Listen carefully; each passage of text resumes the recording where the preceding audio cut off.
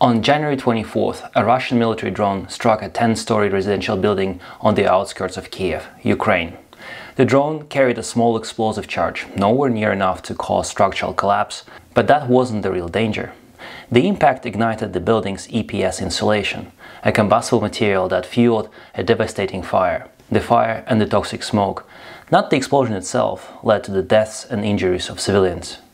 In this case, the insulation became the fire load, turning the facade into a weapon. And this is not just the Ukraine problem. This type of insulation can be found on buildings all over the world, including Europe, UK and America. And it doesn't take a military drone to ignite it. A faulty e-scooter battery or a discarded cigarette when landed on a pile of insulation left exposed during installation. Any of these can trigger a disaster. My name is Eugene Korch. I'm Program Director for Facade Engineering at the Institute for Architectural Science and Technology. And today we will look into the fire safety risks of EPS or expanded polystyrene insulation in render facade systems. How dangerous is it? And most importantly, what can be done to prevent future disasters? Deadly high-rise facade fires are nothing new. They've captured public attention and made headlines worldwide. One of the most recent large-scale facade fires happened just a year ago in Valencia, Spain. On February 22, 2024, at around 5.30 pm, a fire broke out at the 8th floor of a 14-story residential building in Campanar district. It was a windy day and within just 15 minutes the flames raced up the facade reaching the top floor. Within the next 15 minutes the entire west side of the tower was engulfed in flames. The reason for such catastrophic and rapid spread of flame was the combustible cladding with ventilated cavity, a combination that acted like a chimney, feeding the fire upwards at an alarming speed. By the next morning, as Valencia woke up to the devastation, all attention turned to this dangerous cladding system. It was not the first fire caused by ACM type of cladding. However, on the very same day, just a 15-minute drive from the Campanar building, a new row of 13-story high-rises was under construction, with combustible EPS insulation being installed. Despite the widespread media attention on facade fire safety, the installation went ahead as planned. In the months that followed, the work was completed without any changes to the insulation material. And if the EPS insulation on these buildings leads to another catastrophic fire, it won't be the first time either. Campanar building was covered in so-called ACM cladding, or aluminium composite material. And just like in the UK, in the wake of the Grenfell disaster, all attention shifted to these types of facades. Residents of buildings with similar looking facades raise concerns whether their facade have combustible cladding on, does it have ventilated cavity, and are the cavities fire barriers installed? To remediate existing buildings by replacing cladding with non-combustible one and adding fire barriers is a very good strategy to prevent future disasters. However, not building unsafe facades is a far cheaper and more appropriate preventative strategy. So let's look at what is being built in Valencia now. What's being installed on these new buildings in Valencia isn't ACM cladding. In fact, it doesn't look like a cladding at all. Instead, it appears to be as a smooth, seamless white surface this system goes by different names around the world. In the UK, it's known as EWI or External Wall Insulation. In North America, it's called EIFS or External Insulation and Finish System. It is also referred as stucco in the US. In continental Europe, it's known as ETICS or External Thermal Insulation Composite System. The key word here is composite because despite its uniform, seamless appearance, it's actually made up of multiple layers of materials. In case of our Valencia building, the wall build-up consists of the following. Hollow clay blockwork forming an infill wall which spans between concrete columns and slabs of the superstructure. Then a layer of adhesive which is needed to pack out the insulation layer above. In this instance, it is so-called dot and dab cement-based adhesive, which levels out the imperfect surface of the blockwork. Then a layer of insulation, which is also fixed back to the blockwork with mushroom-shaped fixings. The insulation is covered with a level of acrylic or cement-based coating to which a layer of mesh is applied. The mesh prevents the movement of the coating and it prevents the cracking of the finished decorative layer, the top coat. In case of our building, EPS insulation is used. Yet another boring acronym which stands for expanded polystyrene. How do we know that? Well, the site conditions are very messy. The materials are spread all over the area adjacent to the building. It is easy to collect samples of insulation and take pictures of render system materials used. The site conditions could be a fire hazard on their own, but we will come back to that later. EPS insulation on its own rated as E to Euroclass fire classification, meaning that it is combustible. To classify materials in isolation, an ignitability test is used. It is a simple flame source test, and the test looks very similar to a cigarette lighter. Small flame is positioned under a small sample of material. Test is designed to emulate a reaction of a material if exposed to a firelighter or a match or a cigarette. E-rated facade systems are not allowed on high-rise buildings in virtually all countries around the world, including Spain and Ukraine. So why this material is allowed on the building? And the reason for this is that unlike individual materials, the facade systems are classified for their reaction to fire according to the different test, which is designed to emulate the reaction of fire if the wall is exposed to a small fire, like a paper basket positioned in the corner of the room, in case of a burning cigarette, is disposed in it this test is monitored for spread of flame from B, moderate, to A2 or A1, limited combustibility or non-combustible. It also monitors the emission and amount of toxic smoke and production of flaming droplets of the material as they burn. S stands for production of smoke and D for the amount of droplets. In the case of render system, EPS insulation is covered by two layers of cement-based coats which, if exposed to lateral frame, do not allow E-rated combustible polystyrene to ignite. And this allows systems manufacturers to classify EPS insulated render system as B-rated, making them seemingly suitable for high-rise buildings according to the local building codes, which refers to European classifications for materials when um, relied on the small-scale test. And this is how these types of systems found their way onto the facades of the mid to high-rise buildings in Europe and all around the world. Needless to say that this test is hardly representative of the facade fires occurring in the real buildings. The facade is more likely to ignite due to explosion and consequent fire of electric bike or e-scooter parked next to the building. Or already well-developed fire can escape from the window of apartment and ignite the external facade. In 1990 in Winnipeg, Canada, fire started at the ground floor car park, soared through insulated render facade all the way to the top of the eight-story building. In 1996 Munich, Germany, rubbish container fire spread through the entire height of the five-story building through insulated render facade. In 2005, Berlin, Germany, fire started at the second floor and spread upwards through EPS facade, reaching the top floor of the seven-story building. In 2008 in Las Vegas, USA, the fire originated at 29th floor, spread via EPS render facades horizontally across most of the 32nd floor. In 2009 in Hungary, six-floor kitchen fire spreads through EPS insulated facades of 11-story building, killing three people. 2010 Dijon, France, fire spreads through the 10-story height EPS render facades killed 7 people with another 11 injured, with some occupants reported jumping from windows. With the most recent fire happened earlier this year when a small military drone hit the building in Ukraine at the 6th floor level, igniting entire building.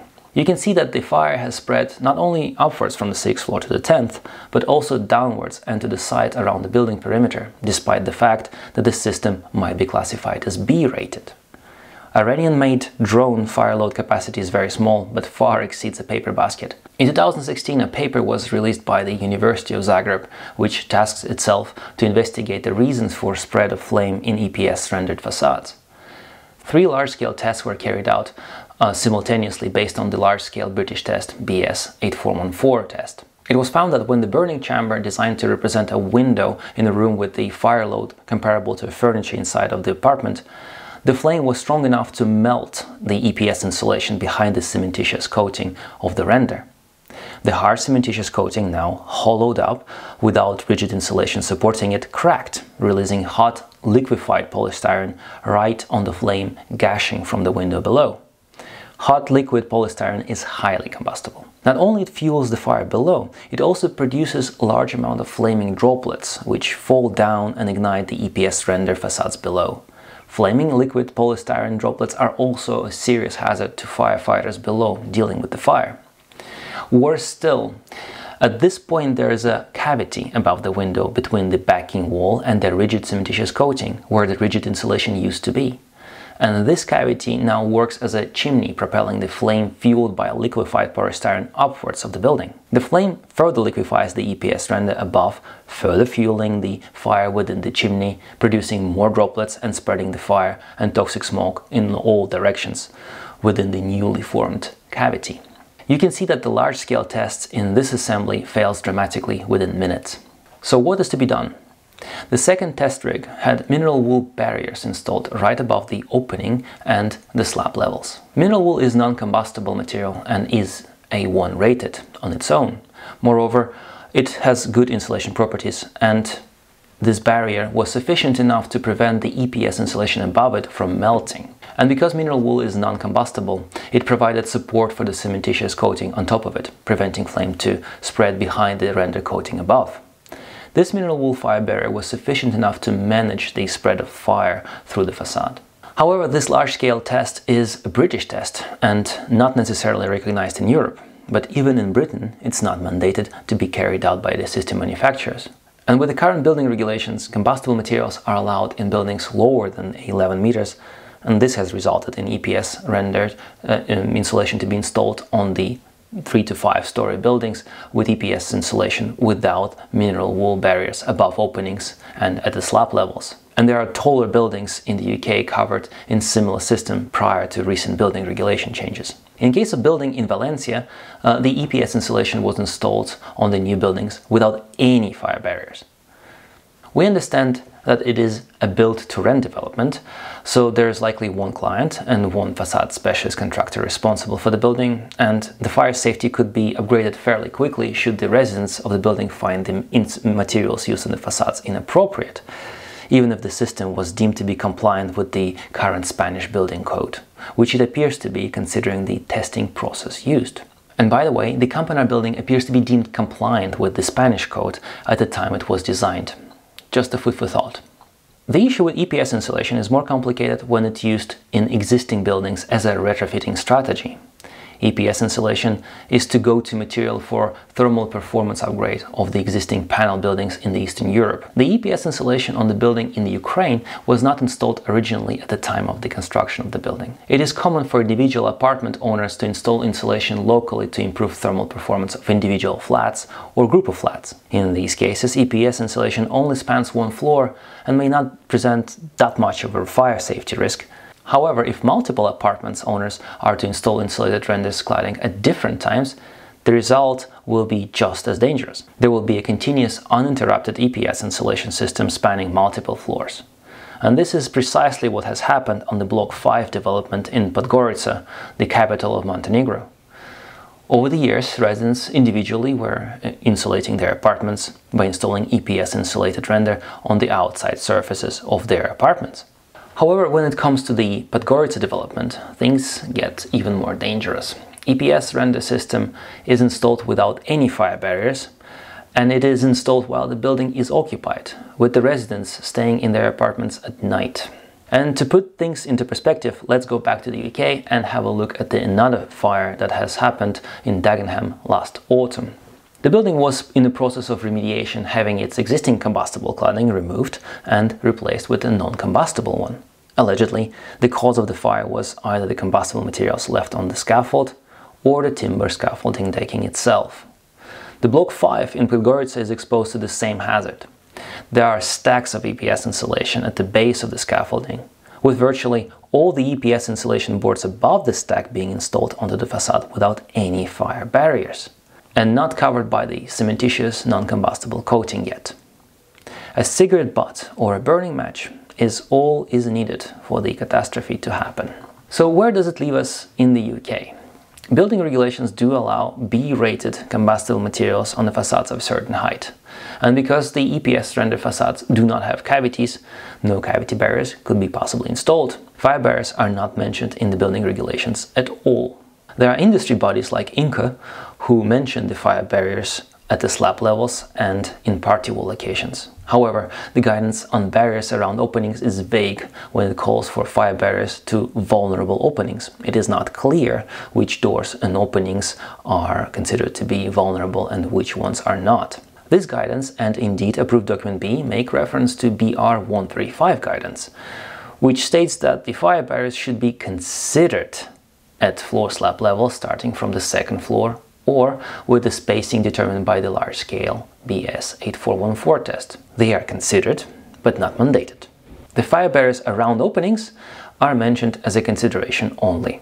Again, it is not clear what a vulnerable opening is. CWCT Technical Note 60 on rendered cladding systems was issued in 2008, some 17 years ago, and for this reason makes reference to class 0 or class 0.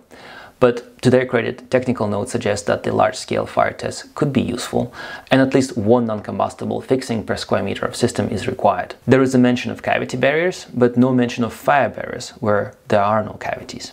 To make sense of all that, there should be a facade or and fire engineers involved on the project. And with EPS insulated render being virtually the cheapest facade system, neither are likely to be involved in a small-scale low-rise buildings. Building regulations and industry's guidance require updating and coordinating and they should be more stringent considering how widespread and inexpensive EPS insulation is. They should consider soffits and areas vulnerable to new hazards like electric scooters. They also need to be coordinated and brought in line with each other, and this will take time. And this is the state of the guidance on these systems in the UK the country that, in the wake of Grenfell disaster, has introduced one of the world's stringent fire safety regulations and trained itself an army of facade practitioners specializing in facade fire safety by injecting billions of pounds into the fire remediation projects. The state of regulations in most countries around the world are less stringent, with more loopholes and vague clauses. So for right now, we at Institute for Architectural Science and Technology have prepared an engineering bulletin as a guidance on design and installation and location of fire barriers in EPS render systems. It is publicly available on Facade Intelligence website. The bulletin is predominantly based on diagrams rather than just text to avoid any vagueness, and it is designed to be applicable globally, not just in the UK or Europe. There is also a dedicated case study based on four-story high residential building, which contains the key interface details, 3D models, and technical documents. It is available to the members of IAST and general public for free.